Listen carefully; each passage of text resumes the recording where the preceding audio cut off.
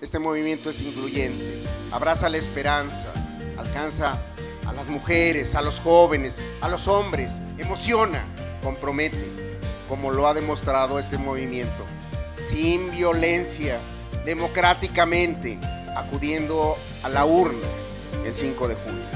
La solución la tenemos en las manos. Vamos a ejercer ese derecho a votar. Y la vamos a aplicar el 5 de junio, porque el 5 de junio vamos a ganar, vamos a ganar, vamos a ganar. ¡Que viva Hidalgo!